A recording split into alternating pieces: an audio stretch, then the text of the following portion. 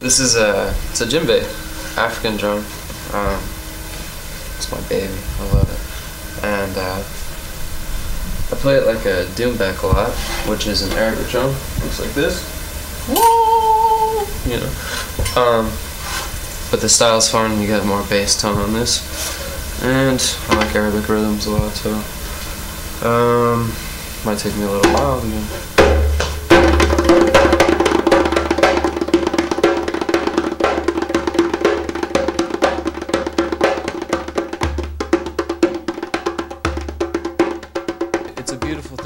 you have like sometimes at points you'll have like 50 people that'll be in synchronicity with one you know one another and it's like every every sound and rhythm is distinguishable by by the way you're perceiving it in that space and time. And it's like you know you look up and there's people dancing on stilts and there's people you know spinning fire and there's people dancing having a good time. And it seems like well you know this is a celebration of life. It's a great it's a good thing that happens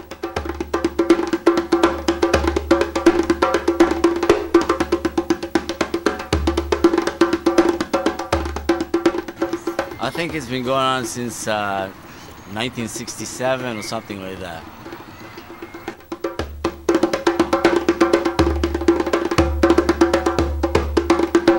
This, this metal has a reputation from the 60s. Uh, Janis Joplin, I think, sang right right where we're standing. I think, I'm not kidding. I, I swear to God, I, I was there. Sorry, Janis. Yeah. And uh, they quit having Damn. that kind of music here, but this is a historical hippie hill. That's hippie hill.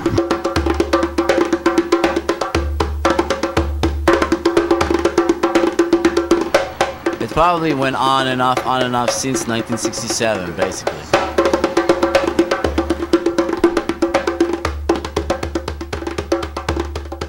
A long time ago, the, the Harley Davidson bikers used to like hang out here. The um, the right, right. This is a long time ago, and there was drummers and bikers together on the same hill.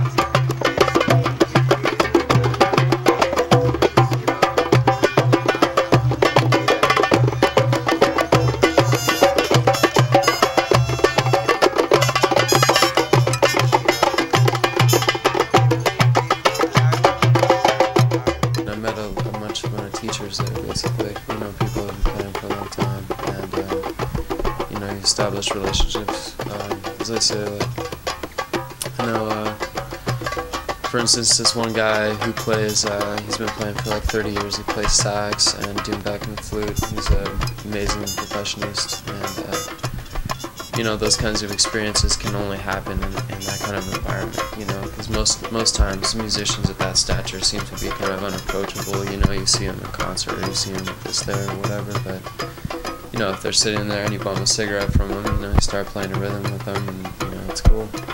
Um, you can learn a lot. You know, it's kind of like a place to where you can interact with people you wouldn't normally do that with. You know,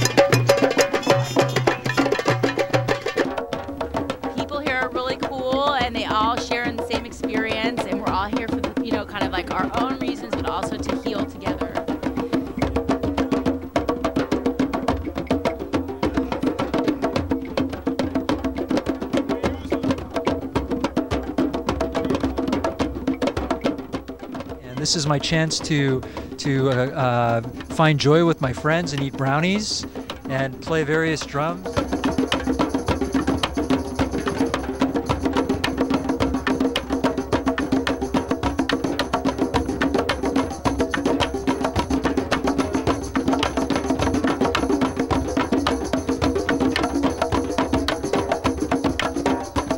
San Francisco is a character city.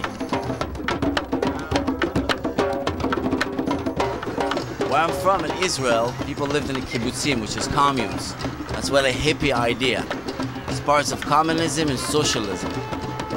And the people in Israel took it as socialism to gather themselves. People lived in free ideas, no, no hard capitalism. Everybody can have their opinion and ideas. Same thing here. When you play drums, you express yourself.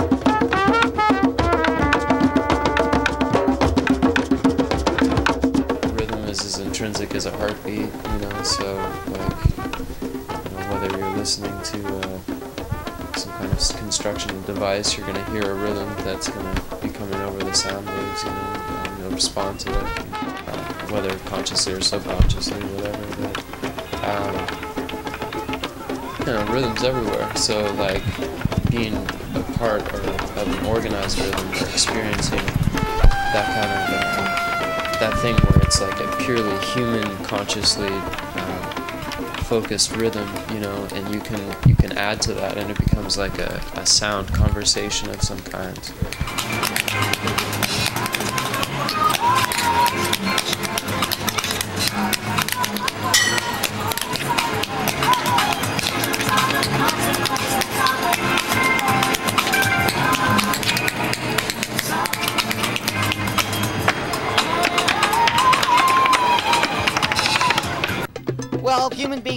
Different things, and uh, some are gifted to um, like high finance or something like that, and they should be downtown behind a computer with a tie on on a hot day.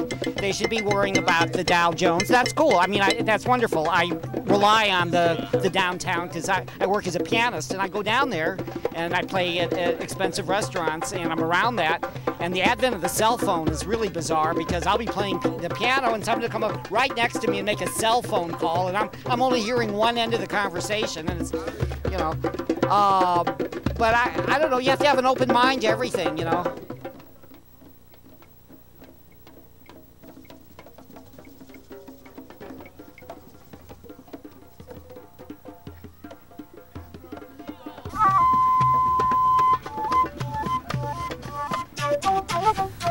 There's not much free celebration left in life, you know. We're usually spending a lot of money to go out to bars or clubs or whatever, you know, uh, this, that, and the other, and it's like you have to equate having a good time spending a lot of money, you know. I go out there, I buy a bottle of water and smoke a spliff, and I'm pretty entertained, you know, and it's really good. You see all kinds of people, like, you know, it's a wonderful thing.